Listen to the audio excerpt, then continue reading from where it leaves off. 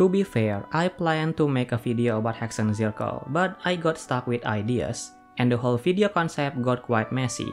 So, in order to refresh my mind, I thought to myself, how about I create a new video compiling my random thoughts about Genshin Impact lore mysteries from the last 3 years. And here we are. So, we begin with Traveler's Identity. You know, if you think about it again, Aether and Lumine are not the only travelers who have visited Teyvat. We can also consider other descendants as travelers, such as Primordial One for instance. The difference is that they choose to settle here and have a significant impact, literally establishing a new system. Of course, their greatness is impressive, but we still don't know who they really are or why they came to Teyvat. Over the past three years, we have noticed a connection between the world of Teyvat and the travelers. A popular example now is the link between the traveler and the samsara cycle, highlighting how the traveler arrival plays an important role in that samsara. In a way, it suggests that Aether and Lumine didn't just come to Teyvat for a regular journey. They have a purpose, a particular purpose. One standout thing about them is compatibility, meaning they share similar traits, whether it is their looks, powers, or hidden potential. So it is not surprise if the main character connects with other travelers, like the third descender. This suggests that the travelers might come from the same family or a single power source. On the flip side, there is a debate about why these travelers are so special. It could be because they are strangers, getting special treatment in Teyvat, or maybe their abilities are so universal and so unique from the very beginning of their existence, giving them higher authority wherever they go. What is even more interesting, these travelers are shown with similar depiction of symbol like the stars, the sun, as if telling us they are the symbol of hope or the symbol of change. But is that really the case? Well, at the end of the day, we don't completely know yet about the very nature of the travelers. Do you guys have an idea before that? Next, we have Teyvat cosmology. Right now, when we say Teyvat, it means both the continent and the planet. But if you think about it, calling Teyvat a planet doesn't quite fit well because it doesn't meet all the planet criteria. So for now, using the term world works better to represent Teyvat, as stated by Aether and Lumine. They travel between worlds and Teyvat is one of them. To understand what Teyvat is really like, let's take a look at its current properties. The firmament, three moons, star, and the abyss. The firmament, also known as the fake sky, can be assumed to be an artificial sky surrounding Teyvat. In various descriptions in the game, such as the vast from All Devouring Narwhal and Alice, it is explained as a protective layer against contact from the outside world. There are also indications that this artificial sky has recently been weakening. So, based on that statement, it seems Teyvat is like a closed system or a closed world. But if that is true, why can Aether and Lumine enter a world that's supposed to be protected? Was this protection created by the Primordial One, or was it there from the very beginning? Well, when it comes to this protection, it may not apply to all locations. I am talking about the Abyss. If I can break it down, the Abyss is like an anomaly in the world of Teyvat. Not only does it have a different natural laws, like the different flow of time, but it also shows indication of the original sky, as we often believe in the spiral abyss. So, from this we can see that the world of Teyvat is split into two parts aside from the three existing realms, okay? One under the firmament's protection, and the other being the abyss. Back to the firmament again, it also covers the stars, which are rocks containing memories and unique energy. The arrangement of these rocks will eventually form constellation, a system that dictates individual destinies. What is even crazier is, there are three moons, assuming they are physical objects, okay? Yes, a planet can have more than one moon, but in this context, the description of Teyvat three moons makes it seem like they are still under the firmament's protection and have a connection to destiny. How can that be possible? From this, it is clear that Teyvat isn't like a regular planet. We might think this is because of a fantasy world, so it is okay if things are a little bit weird. But on the other hand, we should know that Genshin Impact is part of Hoyoverse. If we look at their other games, we always find connection or terms related to real-world sciences, like in Honkai Impact 3 and Honkai Star Rail. In the end, it is possible that the fantasy vibe that cover the world of Teyvat are entirely artificial. Teyvat might just be a large experimental lab with a specific purpose, or a capsule trying to preserve human civilization. But who knows? Okay, enough with that. How about we talk about gods, the origin of gods? We already know that humans in the world of Teyvat are mentioned to be created by the Primordial One. But how about the gods, the demigods, God King, and other mythical creatures, let's say adepti, yokai, large folk, etc., which so far seems interconnected. So where do they come from?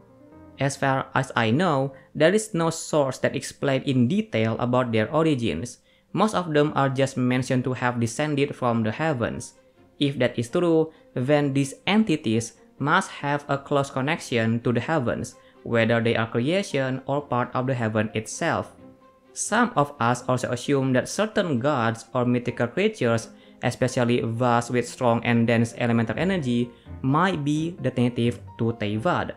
But if we assume that is true, why aren't there ancient records from the time of one unified civilization or the early days of the primordial one mentioning them? Have we found any ancient record talking about adepti, yokai, and others?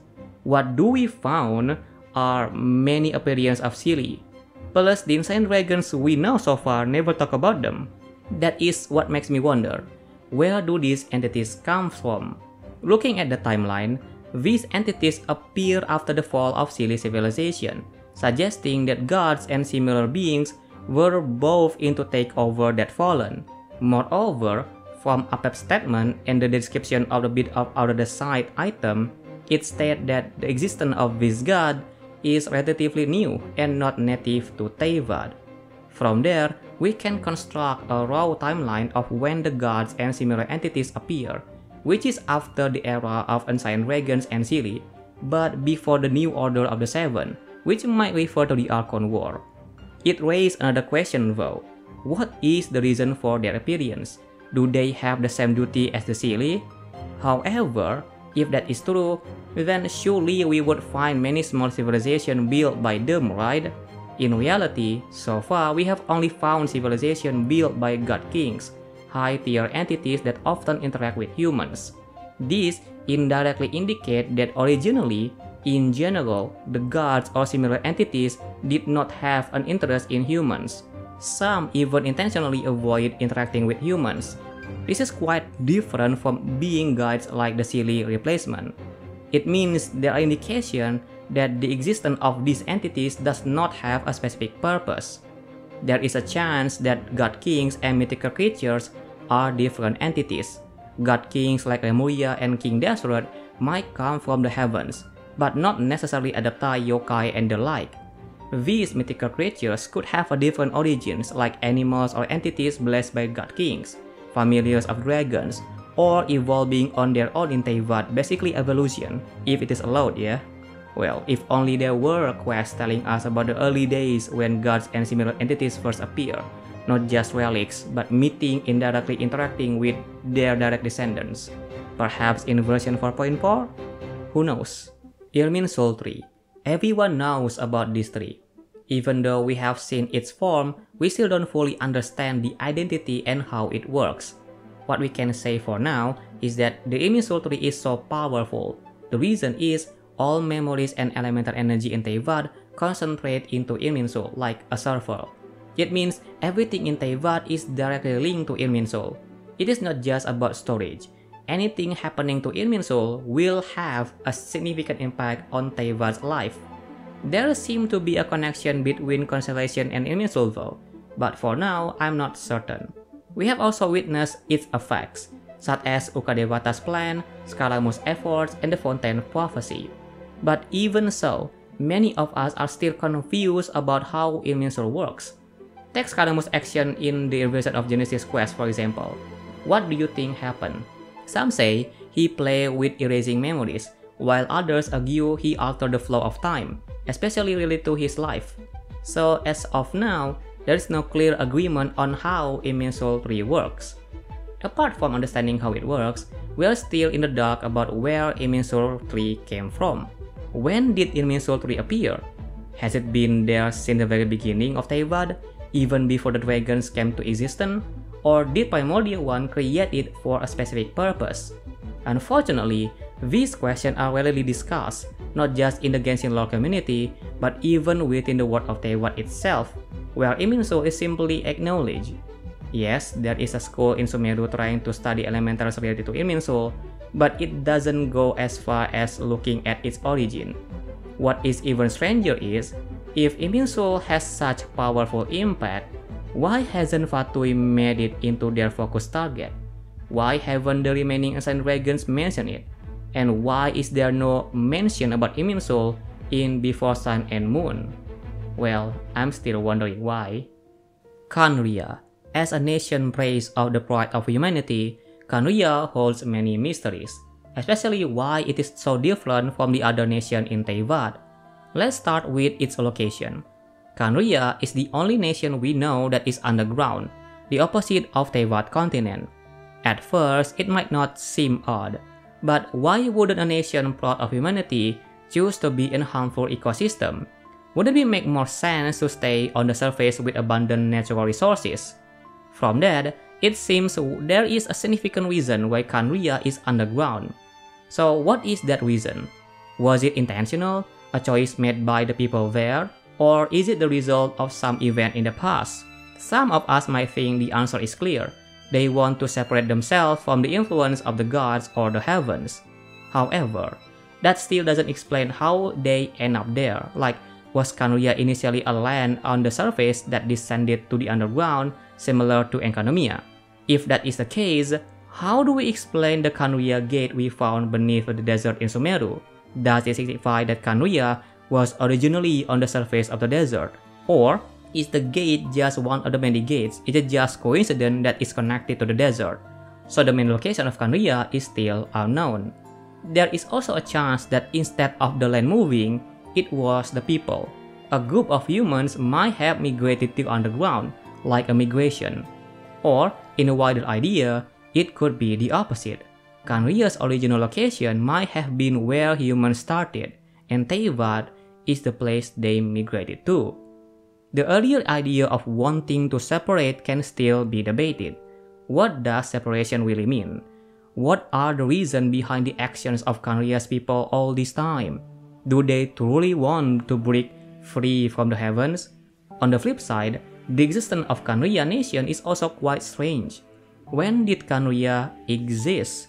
We know that 500 years ago, during the Cataclysm event, Khaenri'ah played a role. This suggests that during that time, Khaenri'ah was likely at its peak of knowledge, meaning the nation exists long before the Cataclysm. Based on one of the oldest records we have, the existence of an underground nation was already heard or predicted by civilization of the past, such as Salvinignir. Some also argue that Khaenri'ah might be the leftover of one unified civilization, and its people are direct descendants of that civilization. We suspect this because of a few things. The architecture of ancient buildings in Teyvat, along with the design of Khaenri'ah Gate in the desert, might be interconnected.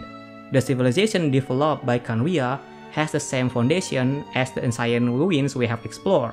While we may assume Khaenri'ah copied vast things, have we considered the possibility that Khaenri'ah could be the original civilization trying to revive itself?